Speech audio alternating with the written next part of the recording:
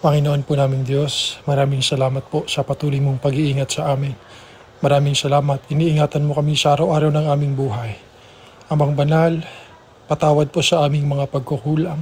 Patawarin mo kami sa aming mga kasalanan upang minsan pa maging dapat kami sa iyong banal na harapan. Amang banal, mag-aaral po kami ng iyong mga katotohanan. Maaari po ba'y pagkalab sa amin ng mga katangiang aming kailangan upang ganap naming maunawaan ang mga aral na aming tatanggapin at pakibasbasan mo po ang aming kapatid na mangunguna sa amin. Pagkalob nawa sa kanila ang katalinuhan at karunungan nagmumula sa iyo upang buong linaw na maituro niyo sa amin ng iyong mga katotohanan. Lahat kami makinabang at sa ikatataas na uri ng aming mga paglilingkod sa iyo.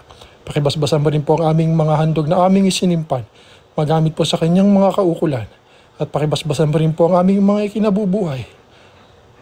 Sa pangalan po ng Panginoong Yahushua na aming tagapagligtas. Amen.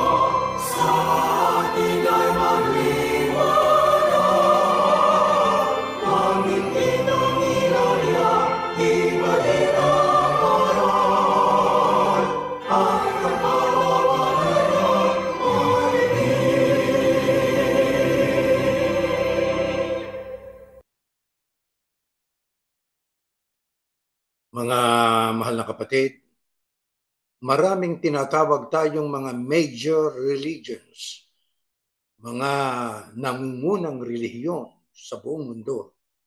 Nariyan ang Taoismo, nariyan po ang Budhismo, at marami pa pong iba. Subalit, ang Kristyanismo o Christianity, ito po ang pinakamalaking relihiyon sa buong mundo. Na ito po ay mayroong mahigit sa dalawang bilyon na mga tagasunod. Subalit, ang terminong Christian o Kristiyano ay malawak po ang kahulugan din ito. At hindi ibig sabihin kung tayo ipinanganak na nabinyagan o nang lumaki ay nabautismuhan, hindi ko mo tayo ipinanganak sa pamilyang Kristiyano, hindi ko mo tayo po ay ikangay natuto ng aral ng Kristo, ay nangangahulugan na na tayo po ay tunay na Kristiyano. Merong mga taong kung tawagin ang kanilang sarili mga Kristiyano, pero ang kanilang ginagawa naman ay labag sa kalooban ng mga uh, taong tagasunod ni Yahushua o ng mga tunay na Kristiyano. Sapagkat isipin ninyong sila raw ay di umano'y Kristiyano pero nakaluhod sa ribulto. Hindi ba paganismo yun? Di umano sila raw ay Kristiyano pero ang kanila namang paniniwala sa Diyos ay polytheistiko. Marami silang Diyos. Hindi ba't pagano yun? Pero ang kanilang pagtawag sa kanilang sarili di umano ay mga Kristiyano. Kaya mayroong iba't ibang mga interpretasyon ng mga tao pagdating po sa terminong Kristiyano. Subalit sa ating pong gagawin ngayon, gaya ng ating paksa, kasaysayan ng salitang Kristiyano. Ating pag-aaralan po yan. At matagal na po nating binabanggit po yan noon pa magpahanggang ngayon ang katagang Kristiyano. Ating pong pag-aaralan po ito at ating malalaman ang mga tunay na mga ikangay katangian ng mga tunay na Kristiyano hindi ayon sa ating kuro o palagay, kundi ayon po sa nakasulat at pagtuturo ng Biblia o ng banal na kasulatan. Ano? Nasa Biblia nga ba ang salitang Christian o Kristiyano? Pakinggan po natin sa unang slide. Ganitong ating mababasa. Nang makita niya si Saulo, isinama niya ito pabalik sa Antioch. At isang taon silang nakasama ng iglesia roon at maraming tao ang kanilang tinuruan. Sa Antioch unang tinawag ang mga Kristiyano, ang mga o na mga Kristiyano, ang mga tagasunod ni Yahushua. Diyan ay binanggit ang salitang Kristiyano unang tinawag na mga Kristiyano. Sino? Ang mga tagasunod ni Yahushua. Saan? Sa Antioquia o sa Antioch. Dito sa gawa, ang sabi, sumagot si Agripa, baka akala mo'y madali mo akong mahihikayat na maging Kristiyano. Ititagpo naman ng si Pablo ay hinuli at siya po ay nililitis. Itong gobernador na si Festus lumapit kay Haring Agripa ang sabi niya, bago ko dalhin itong si Pablo sa emperador, eh dapat iharap muna sa inyo bilang hari. Nang iharap na si Pablo ay Haring Agripa at si Pablo ay nagsaysay na kung paano siya tinawag. Sa daan tungo sa Damascus ay nakadinig siya ng tinig at ang sabi ng tinig ay huwag mo kong uusigin. Tinig ng Panginoong Yahusya, tinig lang ang nadinig pero wala silang nakitang anyo o kaya ay Kristo. Di ba? Ngayon diyan sa tagpong yan, nung nagpapaliwanag na itong si Pablo kay Haring Agripa at ang sabi pa niya kay Haring Agripa, naniniwala ba kayo sa mga propeta katulad nila Moises? Ang sagot ngayon nitong si Agripa na hari, sumagot si Agripa kay Pablo, eh baka ang akala mo'y madali mo akong mahihikayat na maging Kristiyano. Nandoon na naman ang salitang Kristiyano. Makatid ang Kristiyano ay talagang ginagamit po yan. Pero alam nyo, tatlong beses lang ginamit sa Biblia po yan. Yang tatlong yan. Sunod, basahin natin ang Pedro. Ngunit, kung pinarusahan kayo dahil Kristiyano kayo, huwag kayong mahiya. Sa halip ay magpasalamat kayo sa Diyos dahil tinatawag kayo sa pangalang ito. Binanggit na naman dyan, kung pinarurusahan kayo dahil Kristiyano kayo. Alam natin sa unang binasa natin sa Gawa 11.26, ang mga Kristiyano, mga tagasunod ni Yahusya. Sa makatwid, ang terminong Kristiyano po ay nakasulat sa Biblia. Alam niyo, ang salitang Christian ay noun din po yan eh. Ayon sa parts of speech, ano po? Ay, ay, ay noun po yan. O, kung adjective naman ang gamit po dyan, ay ang tinutukoy po dyan, yan po ay ang mga tao na nagsasabing sila'y sumasampalataya at naniniwala sa pagtuturo ng Kristo. Kaya nga Kristan eh, Kristiyano, di po ba? Eh, ang katapat naman po niyan, sa ibang salita, messianic, na yan po'y isang pang-uri o adjective na pag sinabing messianic, eh, relating to the Messiah. Sino bang Messiah? Sino ho ba ang Mesias? Ang Kristo. Sa makatwid, pag sinabing messianic, relating to the Messiah o may kaugnayan sa Mesias. Ngayon, mga mahal na kapatid, ano ang simpleng kahulugan po ng salitang Kristiyano? Eh yan po, nakasulat, tagasunod ni Yahusya. Yan ang simpleng-simpleng kahulugan po ng salitang Kristiyano. Ngayon, ang tanong po natin ay ito. Sino ang unang mga taong tinawag o na ayon po sa isang referensya ay mga followers ng Kristo o tagasunod ng ating Panginoong Yahusya? At ating basahin po ito mga kapatid sa isang uh, referensya natin. Diyan po sa God Questions, Your Questions and Biblical Answers. Ito po ang nakasulat next slide. Ito po sa ating reference sa question, God Questions. Let us read po ito. Ito nakasulat. The followers of Jesus Christ were first referred to as Christians by the Gentiles of Syrian Antioch. Aba, ito pala, ayon dyan sa God Questions, the followers of Jesus Christ were first referred to as Christians by who? By the Gentiles of Syrian Antioch. Makatwid ito yung mga pagano. Di ba? Ang unang tumawag sa mga tagasunod ng Kristo na Kristiyano ay ang mga hintil ng Syria sa Antioquia. And the name was more than likely meant as an insult. Aba, yung palang salitang Kristiyano, ginamit na mga hintil ng Syria sa Antioquia na referido sa mga tagasunod ng Kristo, yan pala ay isang termino o salita na pang-iinsulto. Di ba? Kristiyano. Ngayon, tuloy natin believers in Christ came to be called Christians during a time of rapid expansion in the church.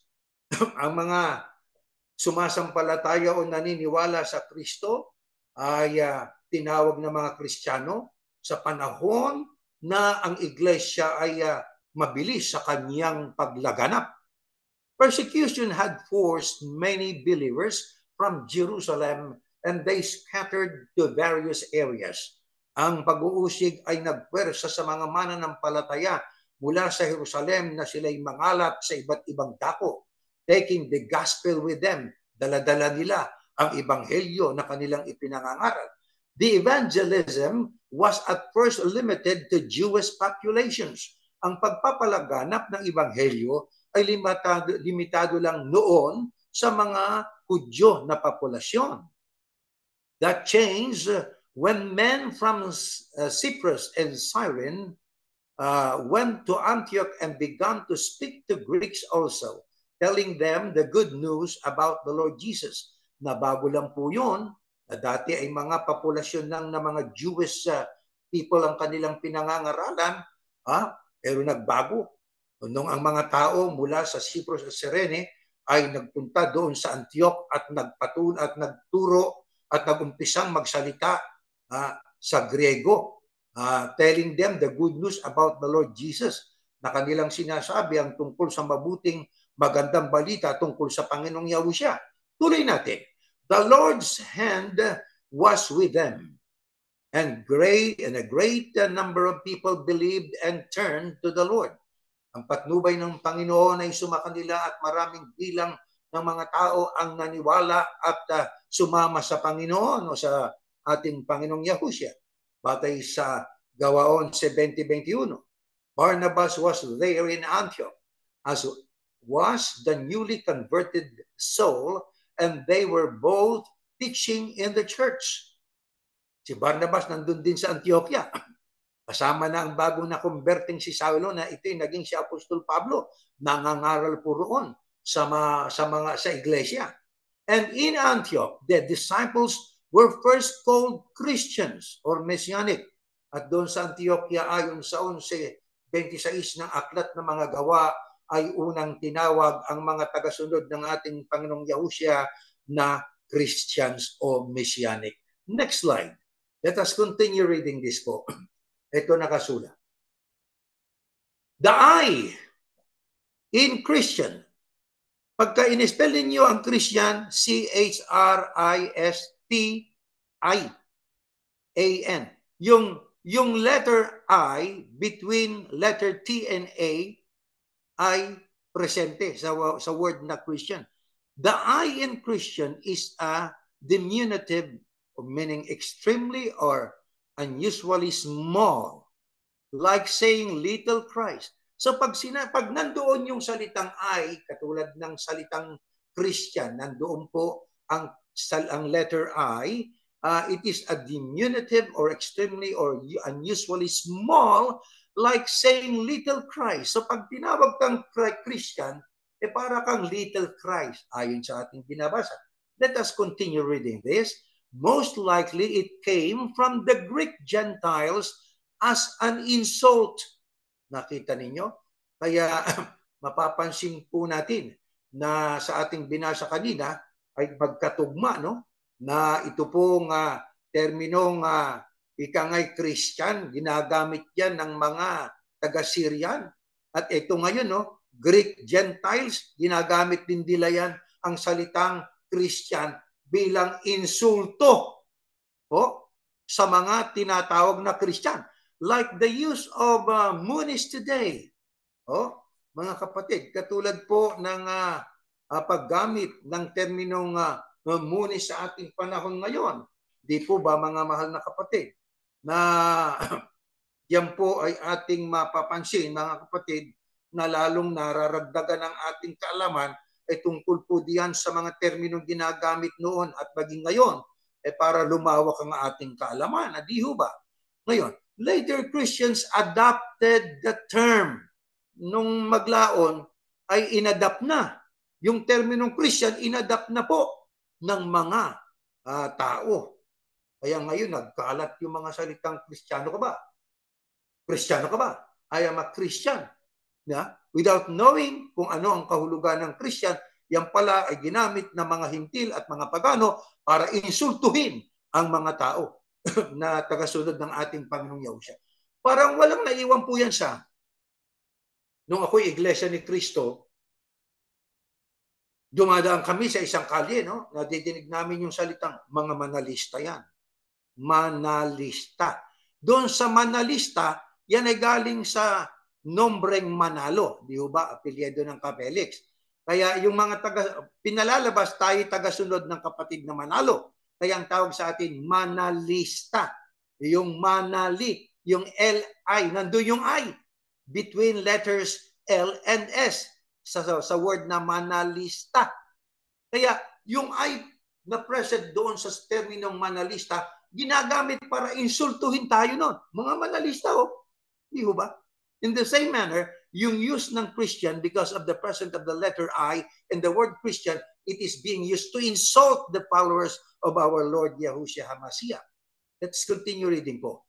at that at the time that believers uh, at the time that believers got the appellation Christians nung nasa kanila na yung pangalang eh, nakakapit na yung pangalang Christians it was common for the Greeks to give uh, satirical or sarcastic critical and mocking nick- nicknames to particular groups di ba totoo yun ginagamit na nila sa particular group para imak para para manuya para kanilang ika nga pagwikaan ng pangiinsulto yung tagasunod ng ating Panginoong Yahusya dahil sa sila ay mga Christians. Ano? So those loyal to the Roman General Pompey were dubbed Pompeians. Ayan, andun na naman yung word na I, yung letter I, sa word na Pompey o Pompeians.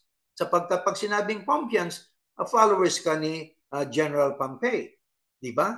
Yun sa spelling ng P-O-M-P-E-I-A-N-S.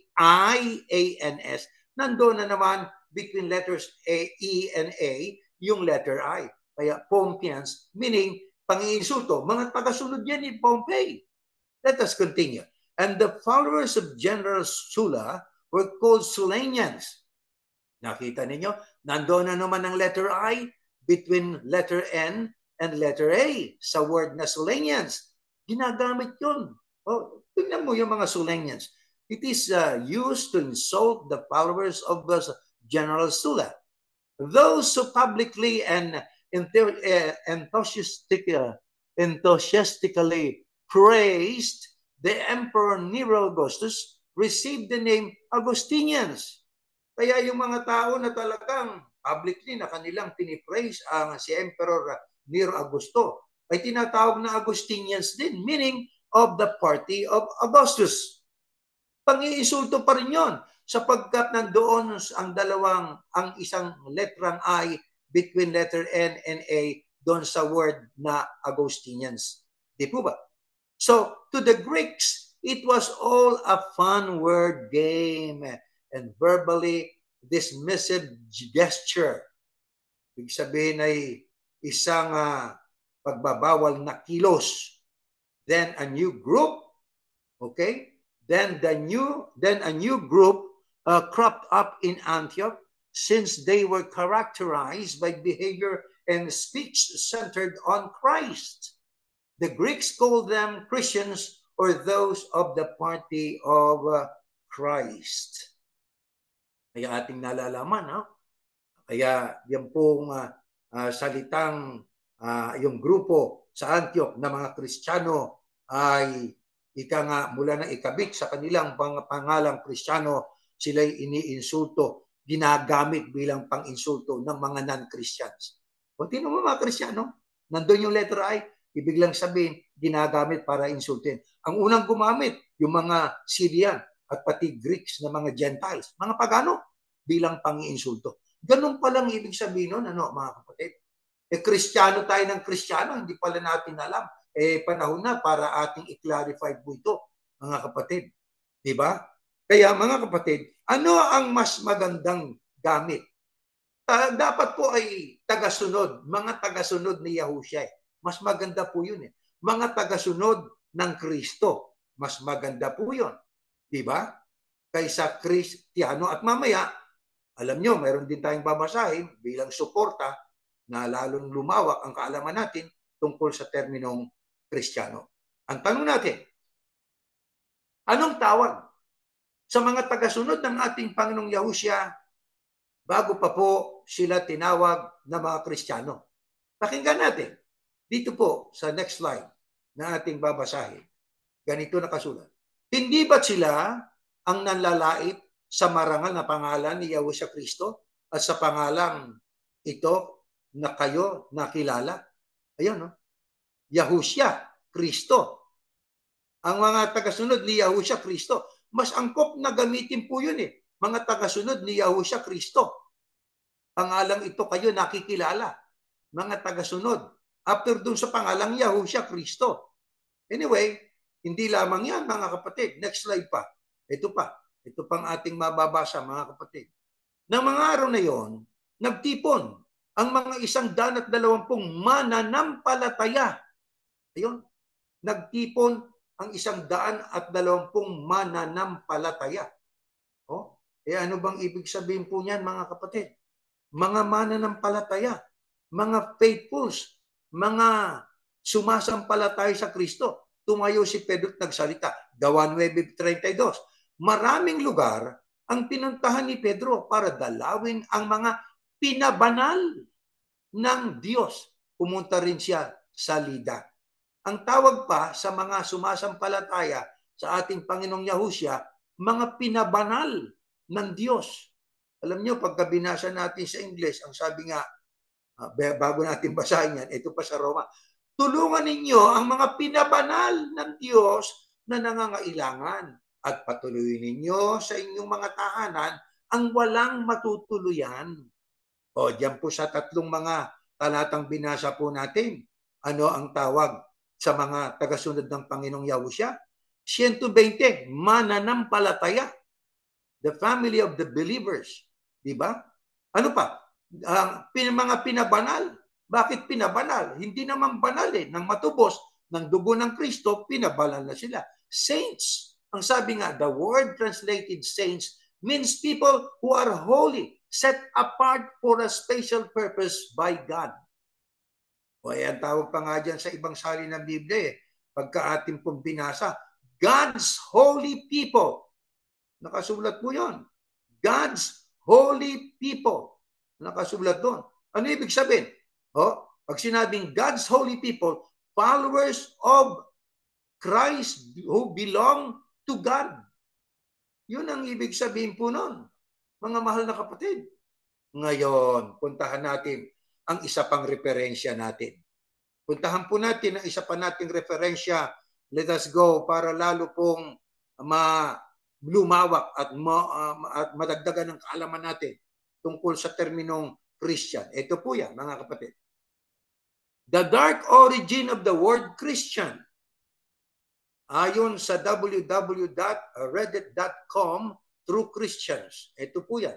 Pakinggan natin mabuti para tayo lalong makaintindi po, lahat tayo. The word Christian, ayan, oh, ating tatandaan po yan. Dadahan-dahanin po natin ng pagbasa. Oh, the word Christian has a double meaning most people are not familiar with. Yan pong salita o termino o salitang Christian ay may dobling kahulugan na hindi alam ng maraming tao. It stems from the Greek Christiano, a derogatory, a derogatory term coined by first century Romans to taunt the original followers of Yahushua Masiach, today known as Jesus Christ. Ano ibig sabihin po no? It stems. Nagmula mula sa uh, Greek na word na Kristiyano. Oh, na ang ibig sabihin po ay isang derogatory term coined by first century Romans to taunt the original followers of Yahushua Mashiach today known as Jesus Christ. Anong ibig sabihin po niyan mga mahal na kapatid?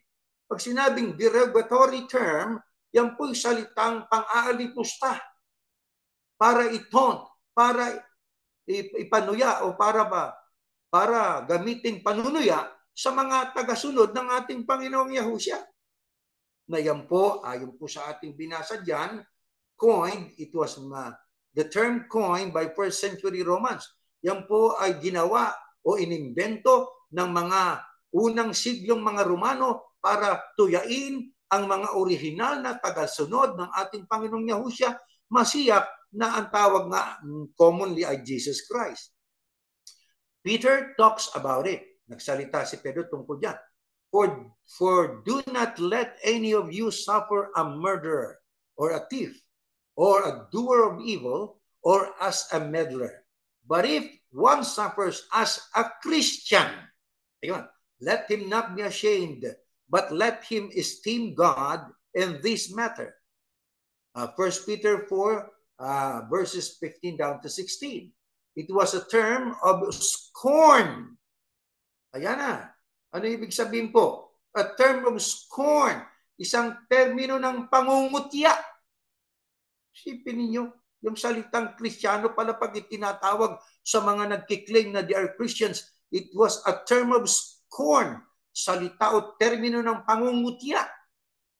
Oh, tuloy natin. being the etymological source of our modern word cretin. Na yan po ay pag sinabing etymological source, kung saan ang galing yung salitang yan, kung paano na-imbento, kung anong pinagmulan yan. Na sa panahon natin, modern word na ang tawag ay cretin. Ang ibig sabihin ng cretin ay stupid, sa Tagalog ay bobo o gago. It is essentially means idiot. Ayun na, nauna lang po ako. But revis, revisionism, uh, pag sinabing revisionism, yung pong mga tao na nagbabago ng ideya o paniniwala dahil sa mas napatunayan nila na itong latest na ideyang alam nila ay mas tama kaysa nauna. So, but revisionism has caused mass amnesia. Uh, ito naman ang nagbu ang uh, ang pagbabago ng paniniwala ay nagbunga naman ng uh, ma- pangmaramihan na pagkalimot. Ibig sabihin, nalilito yung tao. Here's the, etymolo- the etymology, here's the etymology of the word pertain. According to Google, late 18th century, from French pertain, from Swiss French Christine, Christian, from Latin Christianos. Yan palang Christian sa Latin pala ay Christianos. Ano? Magkatunog halos. Here, used to mean human being. Kaya pag ginamit ang Kristiyano sa Latin na sa Swiss, French ay Christine, ay uh, tinutukoy ay ang tinutukoy ay Christian o Kristiyano nang sabi rito here used to mean human being nang tinutukoy pag ginagamit ang Christian word o term ay human being. Apparently as a reminder that though deformed para para paalalahanan na bagamat ito ay na-deform hindi na po tama ang forma proteins were human and not beast ang proteins ay tao mga tao ito at hindi mga hayop. Yahushua's original followers identified as Nazarene. Aba, tigil muna natin at ating intinding mabuti. Yahushua's original, yung mga tagasunod na original ng ating Panginoong Yahushua ay ina-identify ayon dyan sa binasa natin as Nazarene. Named by Yahushua himself at John 15 5, I am divine. You are the Nazarene branches. Nazarene, commonly misspelled as Nazarenes, is Hebrew for branches, watchmen, guardians, and protectors. Sa makapidyan po ay ating natutunan na ang dark origin of the word Christian, yan pala po ay may dobling kahulugan na yan ay ginagamit para po insultuhin ang mga tao na totoong tagasunod ng ating Panginoong Yahushua HaMashiach. Pero originally, ang tawag sa kanyang mga unang mga followers ay Nazarene. Di ba? Kaya dyan ang sabi nga po eh, sa Hebrew for branches, watchmen, guardians, and uh, protectors as well. Yan po ang ibig sabihin po niya. Kaya mga kapatid, ang ating pong pananampalataya siguro ay bagamat tayo ay matagal na nag, naggumagamit ng terminong Christian, siguro mas angkop na tayo tawaging followers of Yahushua. Una, ang pangalang Kristo na diyan galing ang salitang Christian ay titulo. Di po ba? Pangalan ng titulo po yan. Walang titulong makapagliligtas. Di ba? Eh samantalang ang pangalang Jesus na ang ibig sabihin po ay Yahushua. Wala naman talagang Jesus eh. Sapagkat ang salitang J, wala naman po niyan sa Hebreo alphabet eh. Di ba? Mga kapatid, eh ang Kristo, hindi naman Latino. Marami na nating pagbibes na sinabi ito. Di ba? Eh ang Kristo po ay isang Hudyo. Kaya angkop na tawagin siyang Yahushua. Di po ba? Eh ano katunayan? Anong pangalang ibinigay ng Diyos sa ating tagapagligtas? Bago pa man siya ipanganak eh. Meron na eh na pangalang ibinigay. Basahin natin. Sa aklat ng Mateo 1.21, next slide. Manganganak siya, sabi ng anghel kay Jose, na stepfather ng ating Panginoong Yahusha. Manganganak siya ng isang lalaki at pangangalanan mo siyang Yahusha dahil ililigtas niya ang kanyang bayan sa kanilang mga kasalanan. Mga kapatid, ano tawag ng Diyos sa magiging anak ni Maria? Kausap ng anghel ng Diyos dyan si Jose. Balak niya kasing iwan eh. Pero nabago isip niya nang siya po'y paalalahanan ng anghel ng Diyos. E ang sabi ng anghel ng Diyos sa kanya, na yun ang ibig ng Diyos na ipasabi kay Jose. Manganganak siya. Sinong siya? Si Maria ng isang lalaki na pangangalanan mo. Sabi kay Jose, ng anghel ng Diyos, na ano? Yahusya. Eh bakit Yahusya? Dahil ililigtas niya ang kanyang bayan sa kanilang mga kasalanan. Kaya alam naman natin na mayroong binanggit ang Panginoon Diyos. Ang pangalan ko, ibibigay ko sa Kanya. Maging doon pa lang sa aklat ng Genesis eh. Di ho ba? Kaya ang sabi, iniingatan ko sila. Silang mga ibinigay mo sa akin. No? Sabi ng Panginoong Yahusya, eh ang Kristo binigyan din ng Diyos ng pangalan eh.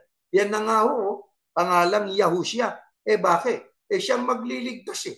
Eh ang Kristo, titulo. Ano ibig sabihin nun? Eh anointed. Ano ibig sabihin sa ibang salita pa? Pinahiran.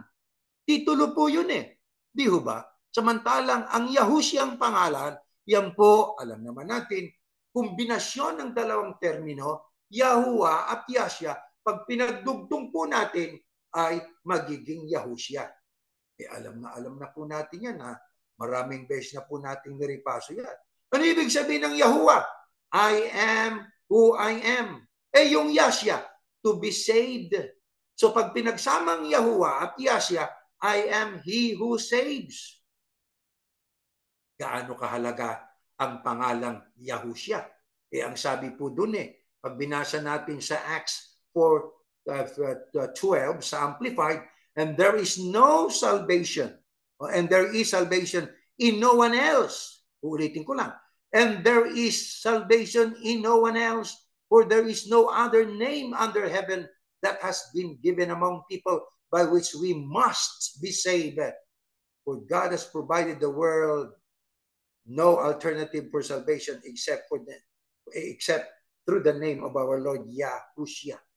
Kaya ang pangalang Yahushua, pwedeng dugtungan ng the, the Christ. No? Yahushua the Christ. Yahushua the Anointed. Yun ang ibig sabihin nun, mga kapatid. Kaya, ang tanging pangalang importanteng importante sa atin sapagkat may kinalaman sa kaligtasan, yung pangalang Yahushua. Di ba mga kapatid? Kaya siguro, sabi nga eh, pwede na tayong mag-umpisa siguro, magpatawag na lang tayong Iglesia ni Yahushua. Kaya tayo Iglesia ni Yahushua. Hanggat maaari, eh, yung Christians, atin na pong sigurong ika nga ay limutin ng konti eh. Sapagkat ang ibig sabihin, iniinsulto pala tayo nun eh. Di ba? Gumagamit nun mga pagano. Di ba? Eh mas maganda pagka ating ginamit ang kumpleto siguro na termino. Ha? Ako'y iglesia ni Yahushua, ang Kristo. Yun. Wala yung pangalang Christian. Kaya mas angkop po yun eh, di ba? Itinawag nga ng Panginoong Yahushua yung kanyang mga original na mga followers eh, Natsarim, followers of Yahushua. The Christ or Hamasiyak. Mga kapatid, naniniwala tayo, sumasampalataya tayo sa halaga ng pangalan ng ating Panginoong Yahushua. O, mahalaga po yan sa ating kaligtasan. Ngayon, bilang tagasunod ng ating Panginoong Yahushua, anong ating ipiprefer? Uulitin lang namin. We would like to reiterate that uh, line of question.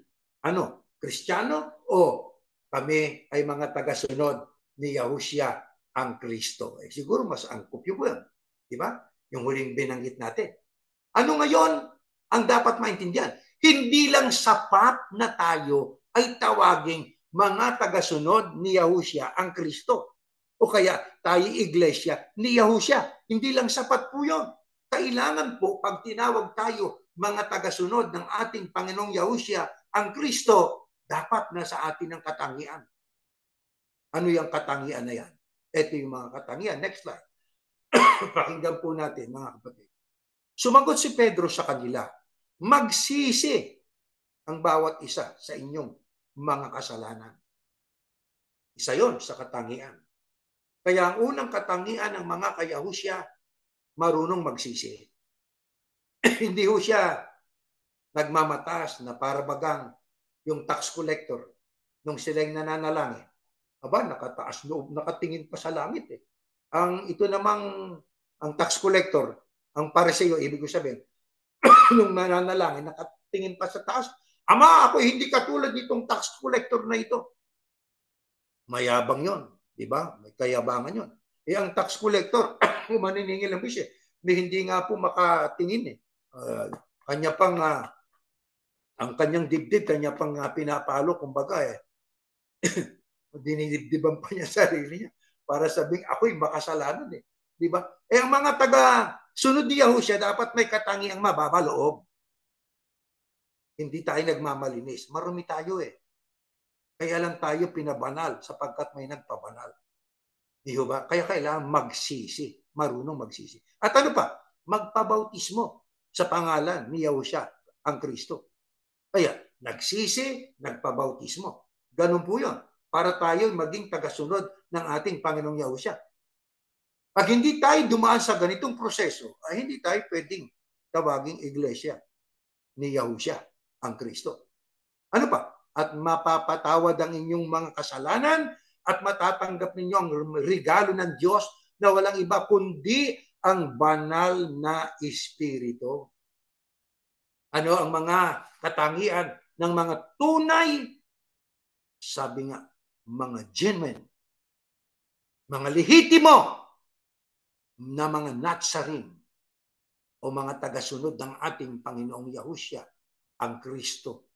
Magsisi sa kasalanan, magpabautismo at tatanggapin natin ang regalo, gift. Hindi tayo deserving, pero ang regalo ay ibinigay ng Diyos. Kanino? sa nagsisi, nagpabautismo, ano yung napakahalagang regalong galing sa Panginoon Diyos? Yung po ang banal na Espiritu. Bakit? Ano halaga ng pagsisisi at bautismo? Na tayo'y nahihikayat na mapatawad tayo sa kasalanan natin. Mahikayat tayo sa ganung paniniwala, pananampalataya. Sapagat yung iba sabi niya, hindi na mahalaga yung bautismo. Anong sisi? Wala na, hindi na kailangan yan. Mabait ang Diyos eh. Hindi ba? Ang, ang uh, kaligtasan ay gift. Kaya huwag ka nang tumabaho. Wala ka nang gagawin. Basta that is a gift. Ang gift sa Diyos. Regalo galing sa Diyos. Kaligtasan niya. Kaya kahit ano gawin mo, ligtas ka pa rin. Mayroon nga diyang iba eh. Oh. Pasensya na kayo, iinom tayo ng tubig.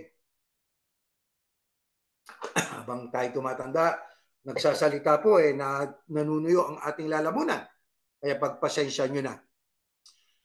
Kaya kailangan po ay ang isang Kristiyano o taga o ibig ko sabihin ang tagasunod ng ating Panginoong Yahusha o ang Kristo ay dapat ay nagsisi. Nag uh, kinilalang kasalanan. Siyempre paano ka magsisisi kung di mo kikilalanin yung ating pagkakasala? Pabautismo napatawad umanggap ng banal na espiritu. Alam ba niyo kung gaano kahalaga yung espiritu mga kapatid?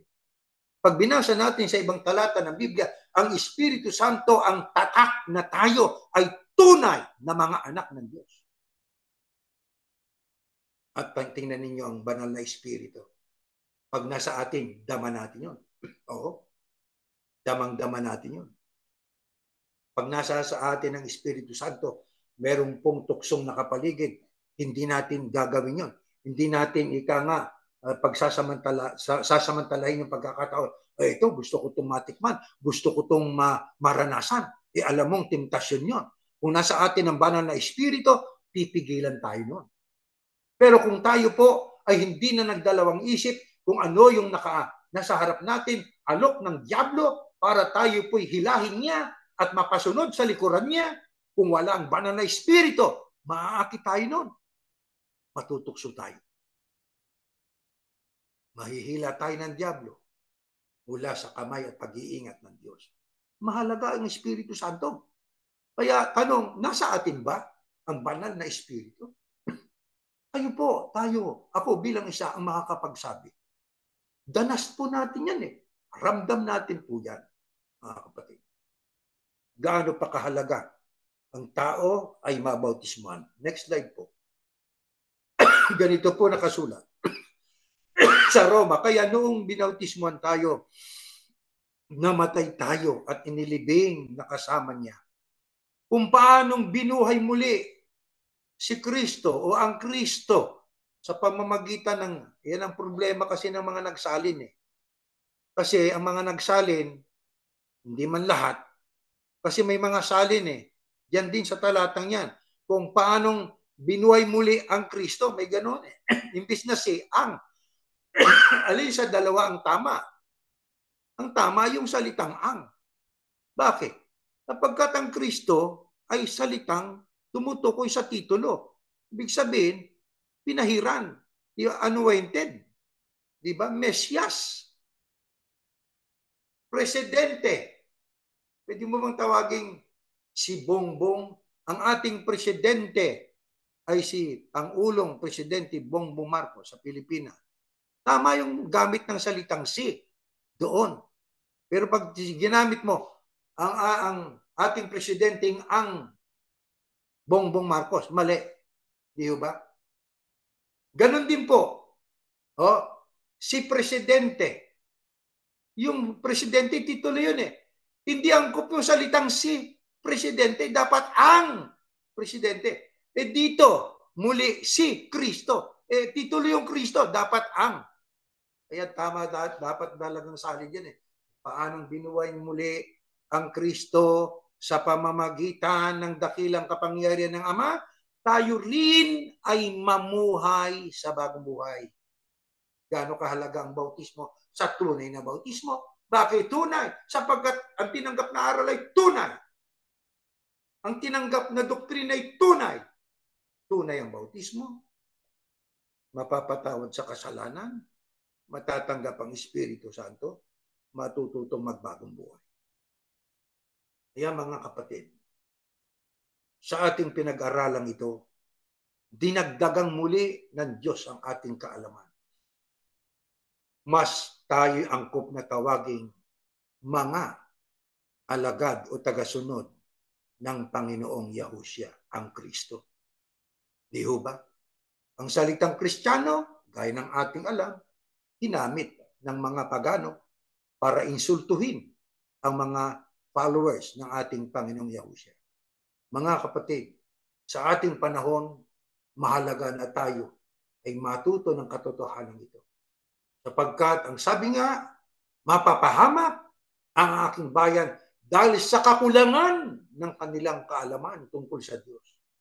Kapapahamak pala ng tao kung kulang siya sa kaalaman.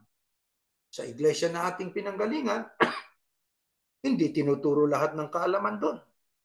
Ngayong 1,000 years nga na millennial kingdom, hindi itinuturo. Binabanggit lang. Ayaw na nilang baguhin ang doktrina nila. Samantalang tayo, pagka tayo ay sa ating pagre-research, sapagkat hindi naman at once ay malalaman natin ang kabuang karunungan ng Diyos. Unti-unti. Hindi po ba, mga kapatid? Katulad ng kapatid na Felix Manalo, meron na pong aklat noon na James Moffat, mga year 1930s, 35, 33, kung di ako nagkakamali. Meron na rin po noon na Lamsa. Oh? Pero mga anong taon? Mga 1933 o 1935. May Lamsa na, meron na pong ano, meron na rin pong ika nga ay uh, James uh, Moffat translation. Pero Noong panahong yon, buhay na buhay ang Kapelix, pero ang itinuturo natin, pag sinabing, ano ang anong iglesia ang tinubos, aling iglesia ang tinubos, babasahin natin 2021 o 2028. Ingatan ninyo ang inyong sarili ng buong kawan sa kanila ginawa kayo ng Espiritu Santo ng mga obispo upang pakanin ninyo ang iglesia ng Panginoon, ng Panginoon, ng Panginoon. Saan tayo tatakbo pagkatapos? Sino yung Panginoon? Sa gawa dos, ang Kristo. Saka natin pinagdudugtong. Kaya iglesia ng Panginoon, iglesia ni Kristo. Isamantalang doon sa sa lamsa ang nakasulat, Church of Christ. Mayroon ng lamsa noon. Pero bakit hindi po sa panahon ng Kapelix na ituro niya yon? Eh hindi lahat ay pinagkakalob ng Diyos sa kanyang isinusugo ang lahat ng kaalaman at karunungan. Kailan natin nagamit yung lamsa? Panahon na ng KRD. Nakita ninyo? Ang James Moffat, saan natin ginagamit po yon? Yung 43, 5, uh, 6 sa lumang paraan natin ng paggamit ay ating saan manggagaling mga anak ng Diyos? Mula sa malayo. Saan malayo? Silangan. Pinagdudugtong natin yung ver- verses 5 and verse 6. Di ba? Verse 5 and 6. Doon sa chapter 43 ng Book of Isaiah. Pero sa James Moffat, pag binasa natin, isang verse lang, nandoon yung mga mga salitang Far East. Di ba? From the far east will I bring your offspring. Isaiah 43.5. Kahit na hindi mo isama ang verse 6. Kailan pa meron ng James Moffat? Gaya ng sabi natin, ay noong pang 1930s. Buhay pa ang Capelix noon. Namatay ang Capelix 1963. Matagal na panahon, umiiral na yung mga saling yon. Pero hindi pinahintulot ng Diyos na malaman ng kapatid na Felix Manalo. Ano ibig sabihin? Gradual. May taong pagpapahayagan. Parang si David, pinlano noon ni David ang magpagawa ng templo. Pero sabi ng Diyos, hindi, hindi sa panahon mo. Sa panahon ng anak mo, si Solomon. Ibig lang sabihin, may paraan ng Diyos. Pagaman, nandyan na na, presente ang mga kaalaman na yon, pero bakit hindi pinagkakalog sa atin? Eh, sapagkat hindi pa panahon eh. Gaya ng terminong kristyano, matagal natin ginagamit yan, malao na natin, tuwan-tuwa tayo patawag na kristyano. Yung pala ang unang gumamit niyan at yan po'y inimbento lang ng mga pagano, ng mga Grego, paganong, mga ika nga ay taga Syria, Syrian, Antioch na mga pagano para insultuhin ang mga followers ng ating Panginoong Yahusha. Kaya mga kapatid ngayon ay nadadagdagan ng ating kaalaman. Purihin natin ang Panginoon Diyos sa lahat ng kaalaman na yan. Kaya mahalaga na ito'y maging eye-opener sa ating lahat at maging conscious tayo sa mga terminong ginagamit po natin para tayo po ay makapaglingkod sa ating Panginoon Diyos at maiwasan natin ang mga termino na yung po hindi angkop. Ito ay panawagan sa atin hanggat may pagkakataon pa lalo na sa mga kabataan. Napakahalaga po ng tao ay maging tagasunod ng ating Panginoong Yahusya. Madaling sabing tagasunod tayo ng ating Panginoong Yahusya. Pero iba, ibang salita ang salitang patunayan natin. Tagasunod kami ng Panginoong Yahusya. Church of Christ kami. Ah, ganon. Church of Christ. Teaching ng Kristo, sinusunod ninyo? Opo. Ah, ganon. Sa makatuwid, dapat ang aral ng Kristo na sa atin.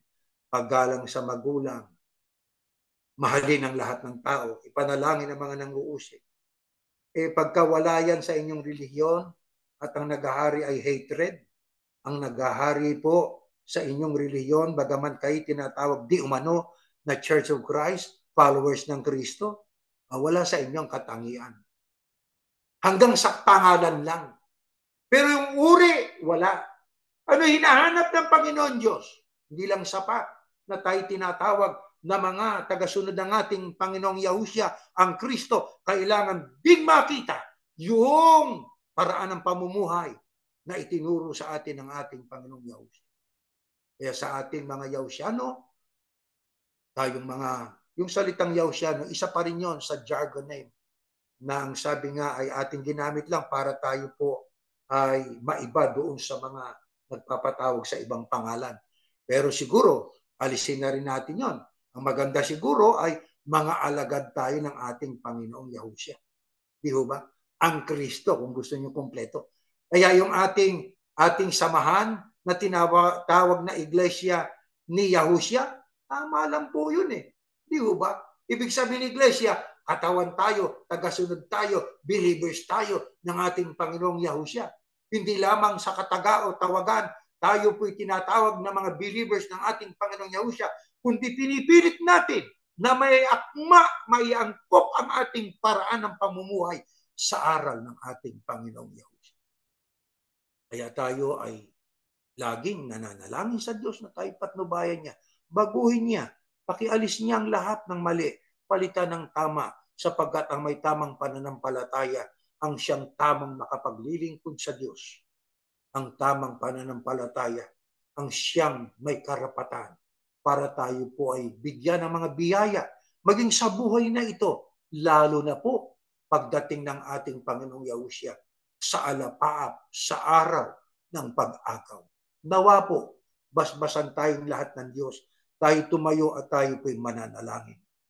Ama namin Diyos, sa iyo kami ay dumudulog, taglay sa aming puso, ang maraming pagpapasalamat, ang kagalakan sa mga kanunungang ipinahahayag mo sa amin. Salamat po at kami po ay dinaragdagan mo ng kaalaman. Dakilang Ama, kami po ay sumasampalataya ng aming mga nagdaang mga natutunan na yun po ay maaring labag sa iyong kalooban sapagkat hindi tama, hindi wasto. Pinapalitan mo ng tama, naway ariin mo kami na sana patuloy mo kami na alalayan.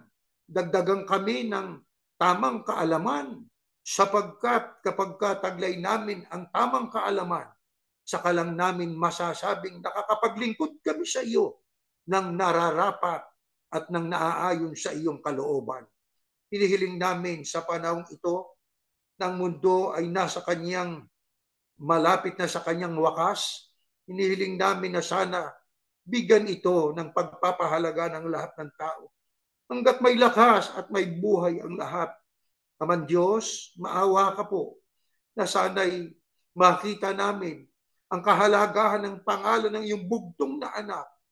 Pangalang Yahushua na siyang tanging pangalang sa ikaliligtas namin. Hinihiling namin na sana, Ama, mamalagi kami sa kasiglahan at ang katotohanan ito'y aming ipalalaganap lahat ng mga anak mong tinawag. Tungkulin namin ipamahagi ito. Kaya bigyan mo kami ng puso na mapagmahal, mapagmalasakit, at mapagpahinuhon sa mga tao, sa aming mga mahal sa buhay. Aming inihiling sa iyo. Dagdagan mo kami ng pagtityaga. Dagan mo kami, Panginoon, ng tiwala na darating din ang panahon. Maliliwanagan din sila na gaya ng pagkaunawa namin. Pinupuri ka talaga namin dahil kahit kukunti kami sa bilang, pero alam namin, ipinaalam mo sa amin ang liwanag ng iyong mga salita. Mamalagi na sana kami sa ganito. Kaya kami laging inihiling sa iyo, Ama. Dagdagan mo kami ng pananampalataya. Dagdagan mo kami ng paninindigan sapagkat darating at darating ang mga panahon na kami daranas ng matitinding mga pag-uusig. Hawakan mo kami ng mahigpit at alalahanin mo kami sa panahon ng pangangailangan, sa panahon ng amin po na mga pagdanas ng pagsubok. Minsan nang hihina din kami, nawawalan din kami ng pag-asa. Ngunit sa pangalang Yahushua, nananawagan kami sa iyo, O Yahuwah, na aming Diyos. Sana ilagi mo kaming hawakang mahigpit Huwag mo kaming pababayaan. At kapag kasaunahan ng paglalakbay, halos malugmok at halos hindi na kami makabangon. Ama, pakiunat mo pong iyong kamay. Pakisagipin mo kami mula sa aming panghihina. Bigyan mo kami na ibayong lakas upang aming maipagpatuloy ang aming paglilingkod sa iyo na buong giting at paninindigan. Pakialaala ang aming mga mahal sa buhay at kaibigan, ang sangkatauhan, Panginoon, sapagkat hindi na maglalaon ang mga pangyayari sa paligid namin ang nagpapatunay, bagamat wala kaming tinig na nadidinig, ito ang nagpapatotoo, hindi na magtatagal malapit na ang wakas ng aming takbuhin. Purihin ka, Ama, sinasamba ka namin. Salamat po ng maraming marami sa lahat ng kaawa at kabutihan mo. Inihiling kami nito sa pag-asang iyon na pong tinanggap sa pangalan po ng iyong anak, ang Panginoong Yahushua na aming tagapagligtas. Amen.